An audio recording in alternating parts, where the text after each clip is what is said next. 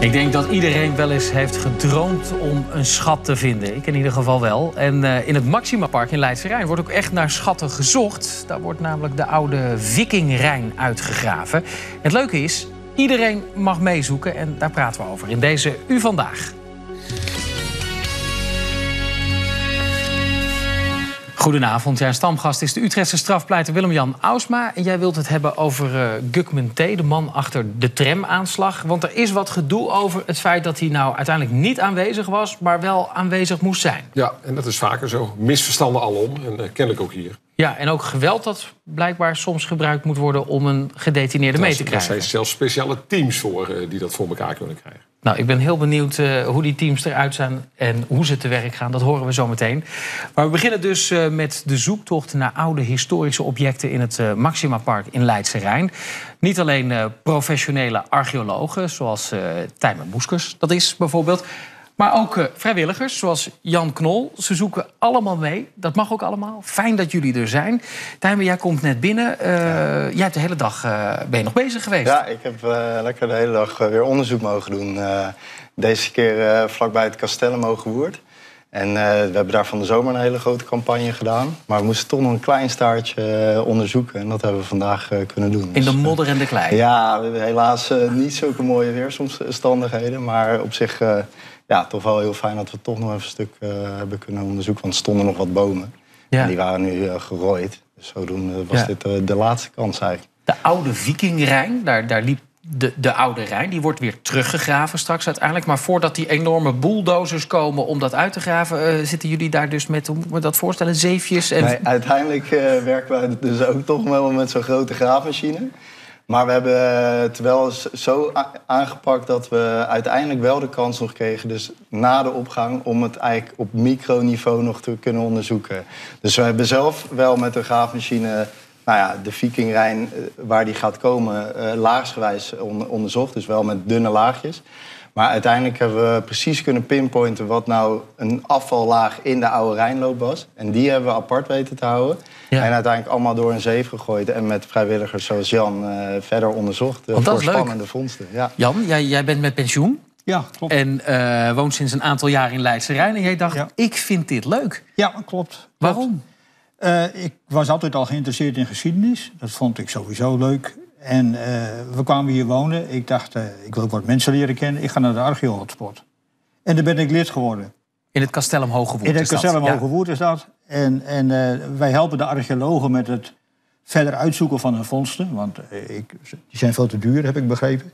Dus wij, wij helpen... Kostbaar, zeker. Of kostbaar, ja. weet je. Dus wij helpen dan met uitzoeken, scherven aan elkaar vastplakken. En ook echt, uh, we gaan ook echt mee naar opgravingen. Ja, ik begreep dat jij dus ook uh, de oude jas aantrekt... en de regenbroek en de blubber induikt. Ik, we hebben dit materiaal gezeefd, wat je hier ziet. dat, dat was gewoon een bult rivierklei. Dat heb ik hier. Dat kan ik wel even een stukje omhoog houden. Want ja. vertel me eens even inderdaad, wat is dit precies?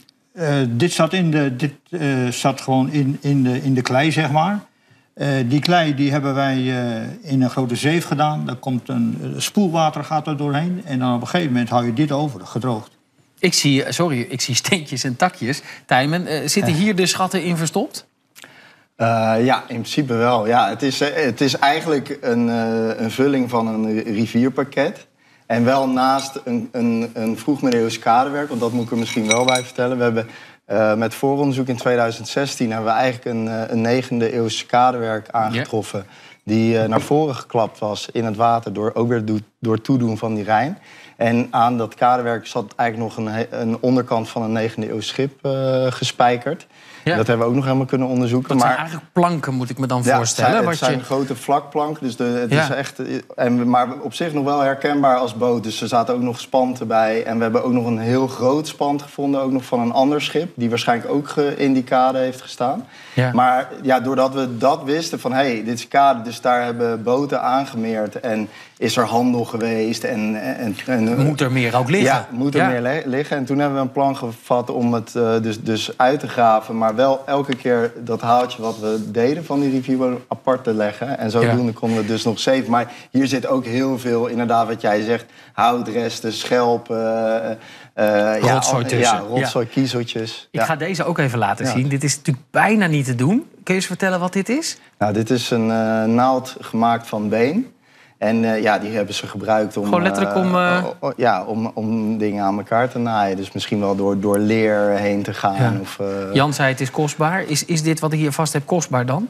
Nou, nee. Je, moet Historisch nee, gezien nou bedoel ik, ja, hè? Historisch gezien, het heeft heel veel informatiewaarde. Want dat is inderdaad het hele leuke. Want Jan zei net van ja, het is allemaal duur om dat onderzoek te doen. Dat is ook wel zo. En als we het op de normale manier zouden doen, zouden we ja, wel eventjes de lagen scannen en vondsten eruit halen. Maar dit is wel uniek en dat is het mooie met de samenwerking Eigenlijk met is, Arco is Jan ontzettend belangrijk. Nou, dus. dan kunnen we dus wel Ja. een keer zien van... hey, eh, niet alleen de grote zoogdierbotten die we eh, vinden... en zo'n benennaald vind je natuurlijk ook niet zo met het oog... dus dan zou je eerder een, een oude schaats, eh, zo'n glis noem je dat... die zou je wel vinden, maar niet die, die kleine Nee. fondsen. De- dus dat is wel echt het unieke. Dus we hebben ook barnsteenfragmenten gevonden, glazen kralen... Die normaal eigenlijk toch met die bulldozer weg zouden Ja, gaan. ja, ja. Jan, eh, jij doet dit nu een tijdje. Ja. Eh, er mogen meer vrijwilligers komen, heb ik Zeker. begrepen. Waar- waarom is het zo leuk om te doen? Behalve Eh, dat we naast jou kunnen staan. Nou, het, het leuke is ook, je hoort veel van de archeoloog. Dus je krijgt veel meer kennis. Als je mee gaat opgraven, dan heb je eerst ook een cursus gedaan. via de AWN. Dus dat is ook... dat je ook weet wat je weggooit en wat je bewaart. Dat je weet wat je weggooit en wat je bewaart. En dat je geen brokken maakt in een put. Hè. Dat is ook belangrijk. En er komt ook publiek. En dat is ook erg leuk. En Ja. die helpen ook mee puzzelen. En, Ja. en die, die vragen ook dingen. Dus, Voor kinderen ook, toch? ja, kinderen ook. En, en, maar ook volwassenen en ook eh, eh, opa's en oma's met, met kinderen, noem maar op. En eh, er zijn rondleidingen van schoolklassen. Dus het is een heel levendig Ja, gebeuren. ja, dat snap ik. Ja. Aanmelden bij Castellum Hogewoerd? Eh, ja, Ja, ja, ja. ja, aanmelden De bij- Archeo Hotspot, We kunnen ja. nog vrijwilligers gebruiken. Ja. Kijk, Ja. dat is duidelijk. En het is een leuke klus, ondanks dat je er vieze handen van krijgt. Het is een hele leuke klus. Ja. En u moet een eh, oude jas hebben. Want eh, ook, anders ja. komt hij onder de blubber te zitten. Ja. Willem-Jan, wat voor jou? Ah, het is een mooie alternatieve straf, eh, denk ik. Ja, er kunnen nog wat gedetineerden door, geloof ik. Ik denk dat ze dan, eh, zonder grapjes te maken, allemaal in hun cel willen blijven zitten. Als ze het niet leuk vinden in ieder geval. Maar zonder gekheid, we hadden veel crime nieuws deze week. Natuurlijk de aanhouding van eh Ridouan T. Maar ook de regiezitting over de tramaanslag in Utrecht. En de verdachte daar is Gukman T. Hij moest verplicht aanwezig zijn in die rechtszaal. Maar uiteindelijk kwam hij niet. En de rechter wilde hem vervolgens ook niet verplichten. En nou komt het omdat er anders te veel geweld nodig zou zijn. Willem-Jan, ja, je, je zei net al een klein beetje wat. Ne- Neem ons eens mee naar die procedure. Hè? Een, een verdachte moet komen voordat hij bij de rechtszaal is. Wat, wat gebeurt er dan allemaal? Ja, de, de rechtbank moet een bevel geven. Je bent namelijk niet verplicht om te verschijnen. Tenzij de rechtbank zegt je moet komen. Het is op zich wel verstandig om te komen natuurlijk. Om je woord te kunnen doen. Maar niet iedereen heeft er zin in. Eh, in het geval eh, bij dit soort eh, zaken. Dan zegt de rechter gewoon nou je komt maar. Ja. Nou, dan kun je ervoor kiezen als gedetineerde om gewoon vrijwillig maar mee te gaan. Zo niet, wordt er geweld toegepast. Eh, maar eh, als je dan echt met hand en tand verzet... en er zijn natuurlijk eh, best wel sterke figuren bij... Wat is geweld Ja. gebruikt? Je zou- Als je niet wil, dan wordt geweld gebruikt. Ja. Wat moet ik me daarbij Nou, voorstellen? je hebt een speciaal interventieteam. En die, die, die kunnen dus gewoon met een schild en met z'n vieren en een helm op en, en een wapenstok.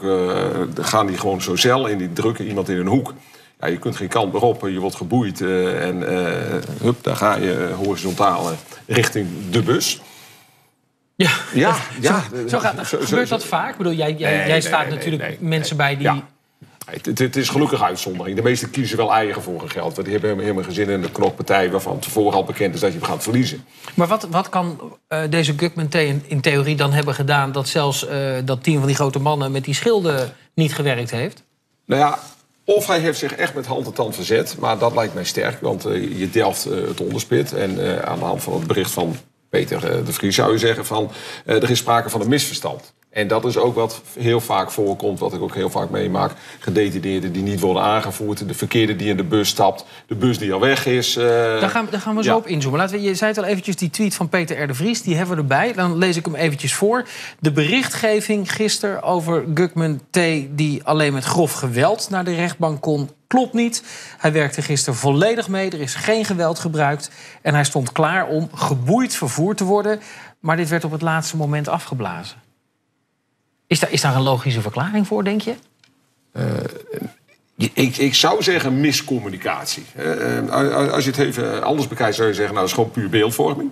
Eh, ook, ook gewoon om, om hem nog zwarter af te schilderen... dan eh, hij al in de media wordt afgeschilderd. Eh, zou ook kunnen. Alleen ja, dat, dat, dat, dat lijkt mij een beetje overdreven. Want het is allemaal te verifiëren. En, en Ja. nu ook. Ik bedoel, Peter heeft zijn lijntjes. Dus, Ja, Maar jij zegt net, soms wordt gewoon de verkeerde gedetineerde Ja, opgeroepen. Hoe, hoe kan dat Kan dan ook. gebeuren? Ja, kijk, er zitten 200, 300 man.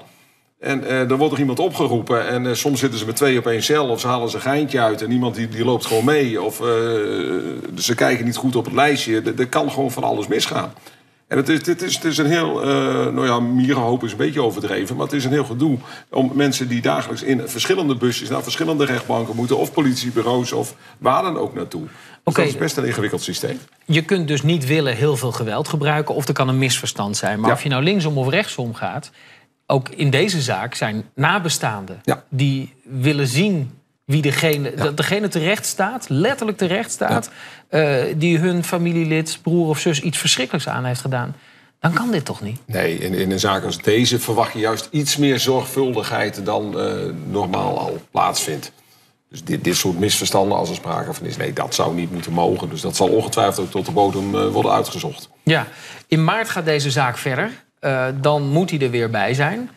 Dan zou je toch, want dan heb je het over de inhoudelijke behandeling. Dit was een voorbereidende zitting. Daarom Ja. zei de rechter ook, laat Ja, het nu dan ja, maar zitten. precies, precies, maar eh, gaan ze dan wat verder, denk je? Nou ja, dan zal een officier van justitie vooraf wel zorgen dat het gewoon echt in orde is. En dat er niks mis mag gaan.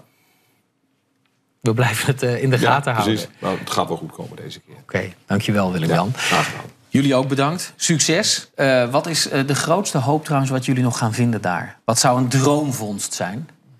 Nou, we gaan er binnenkort eh vlakbij de Huis de Vleuten eh, opgraven. En we verwachten daar wel van alles aan materiële cultuur uit de, uit de middeleeuwen. Dus, dus echt een complete pot, een baardmankruik of zoiets. Dat Hele gave dingen. ja. En daar heb, Jan, daar heb je dan niet eens een zeef voor nodig. Die trek je gewoon zo de grond uit. Die, ja, heel voorzichtig. Heel voorzichtig. Ja, ja. Kijk, hij heeft eh, de opleiding Heel goed goed, gevolgd. Heel veel succes daarbij. En eh, die bijzondere vondsten die willen wij natuurlijk ook graag eh, hier weer aan tafel hebben, als dat nou, kan. Dit was u vandaag. Morgen dan zijn we er weer met een nieuwe uitzending. Heel graag tot dan. Dag.